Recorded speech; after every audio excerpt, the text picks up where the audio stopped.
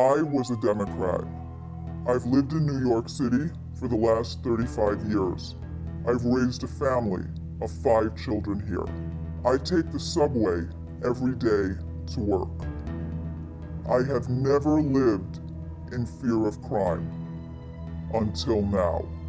I've been the victim of two subway crimes in 2021. Now I live in constant fear.